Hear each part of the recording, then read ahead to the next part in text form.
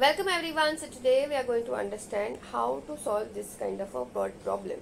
9 is what percent of 30? Please understand whenever you have this question you write it as it is. 9 is means equal to what percent that means what x upon or rather let me just write it as x percent of means multiplication 30.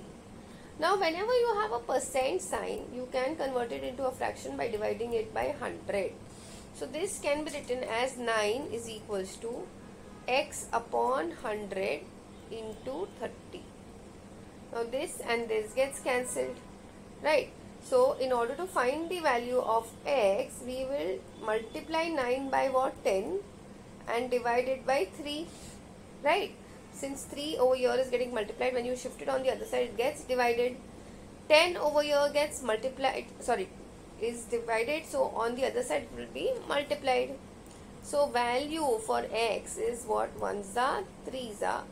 So x is 30 now let's try and put this in our original problem. So we'll say what percent of 30 right? So instead of uh, x let's put 30 so we have 30 upon 100 multiplied by 30 now this, this gets cancelled, the zeros are cancelling, you're finally getting the answer as 9.